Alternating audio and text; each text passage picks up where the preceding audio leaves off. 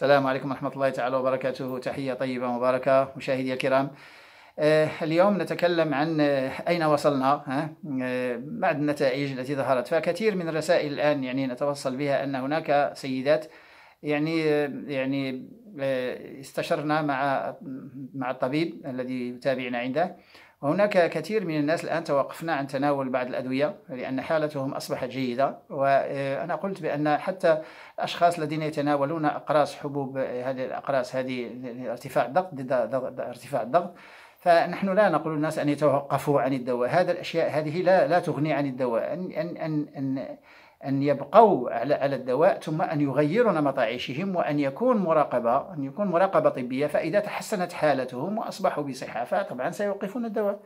يعني يوقف الدواء ليس هناك مشكل ويعني كثير من الحالات الآن توصلنا بها ولكن بعض النساء يشتكينا بأنهم تبعوا كل شيء لمدة سنوات ولم يحسوا بشيء.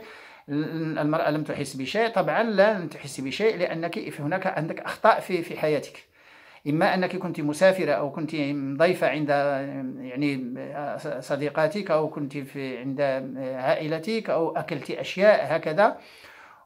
ولو أكلت شيء بسيط ولو جرام أو اثنين جرام من المواد التي يعني امتنعت عنها فلن تحسي بشيء. يعني كل هذا العمل هذا كله سيبتر. فيجب أن يتبع الناس هذه الأشياء لأن الصحة أولا. إذا كنت معزوم عند شخص نعم سيفرح بك ويقدم لك الأكل لأن نحن الفرحة فيها غير الأكل. الأكل الفرحة بالأكل. فطبعا يعني حاول أن تأخذ الأشياء التي تظهر لك أنها يعني جيدة وأن لا تقرب الأشياء الأخرى. فهنا المشكلة هنا كاين الناس يتحرجوا يعني كاين هناك إحراج. لأن طبعا سيستضيفك باللحم وبالدجاج مشوي سيستضيفك بالمشروبات الغازية سيستضيفك بالحلويات سيستضيفك بهذه الأشياء. وهذه هي الأخطاء من المستحيل من المستحيل أن لا يحس الناس بتحسن. من المستحيل لأن الجسم رجع إلى أصله وتغذية طبيعية وطبخ المنزل ويعني امتنع عن تناول كل المواد الصناعية والحركة والصيام. الرياضة والصيام والمواد الطبيعية والنظام النباتي مع السمك يعني بدون لحوم بدون مواد صناعية بدون زيوت صناعية بدون مارغرينات بدون أشياء هذه لا يمكن أن لا يحس بتحسن لا يمكن ومن المستحيل إلا أن تكون هناك أخطاء. هناك شيء آخر كذلك هذا المشكل يعني الناس يأكلون خارج بيوتهم عند أصدقائهم وكيكون حرج يعني كيكون يعني معزوم ضيف آه، يجب أن يأكل.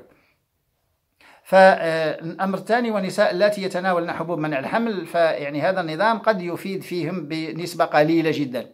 لأن المرأة تعرضت لخمس وسبع ثمانية عشر سنوات من الحبوب منع الحمل وهي كانت تظن أنها تتناول حلويات ها هذه الحبوب ليست حلويات هذه قنابل تأخذها. فهذه النساء طبعا هناك النساء يلزمهن وقت طويل يعني سنتين وثلاثة وأربعة وخمسة. ثم يعني هذو الأشخاص اللي المدخنين ثم الأشخاص طبعا لأن هذه النصائح للمسلمين ولغير المسلمين طبعا والأشخاص الذين يتناولون كحول فهذا الأشخاص هذو لا يفيد في هذه الأشياء إلا أن يتوقفوا عن التدخين أو يتوقفوا عن الكحول أو تتوقف النساء عن تناول حبوب منع الحمل.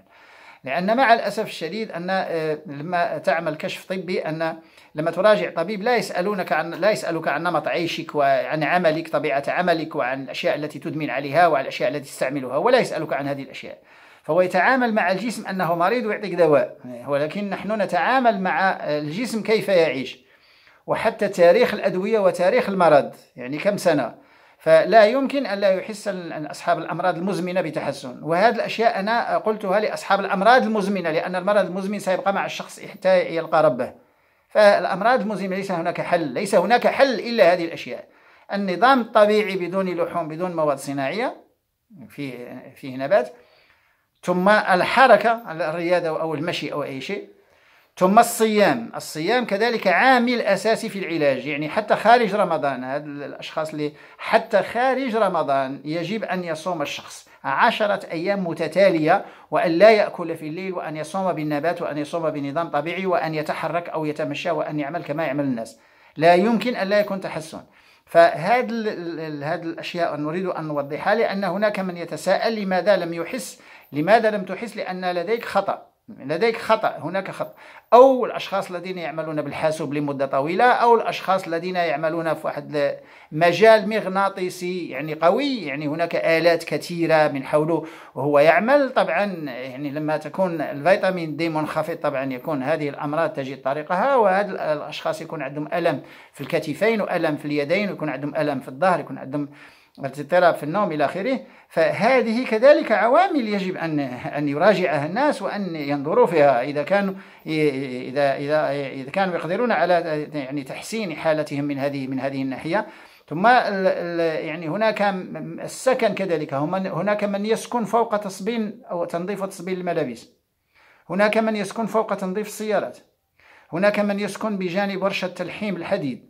هناك من يسكن بجانب معمل أو أو أو أو أو, أو, أو أي شيء. فيجب أن أن هذه الأشياء كذلك تدخل لأن المحيط الذي تعيش فيه وماذا تأكل وماذا تشرب والهواء يعني والحركة. فهنا أنا قلت بأن إذا كان نظام نباتي طبيعي طبخ المنزل زيت الزيتون عوض الزيوت الأخرى ثم السمك يعني سمك البحر وليس سمك الأحواض آه، عوض هذه اللحوم ولكن بدون حتى هذه الأشياء لأن النبات فيه بروتينات يعني بقوليات ونشويات وخضر وفواكه والفواكه الجافة والفواكه الطرية وأوراق كثيرة يعني هذه يعني هذه الأشياء هذه النباتات التي ممكن أن يقتات عليها عليها الناس.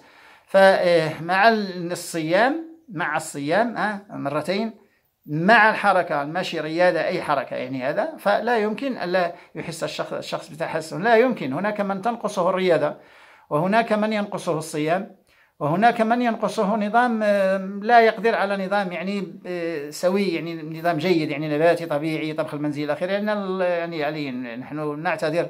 هناك بعض الإخوة يعني ليسوا متزوجين يعيشون في بعض البلدان لا يقدرون على على الطبخ إلى آخره. فحتى إذا أتيت إلى مطعم لتأكل فأطلب أشياء طبيعية. أطلب من صاحب المطعم يأتيك بسلطات سلطات. بدون ذرة بدون سمك بدون بيض بدون زيت بدون خل.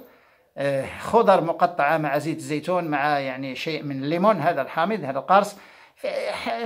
ثم أطلب منه يعني بقوليات أطلب منه رز أطلب منه أشياء أخرى. يعني هذه ف و... و...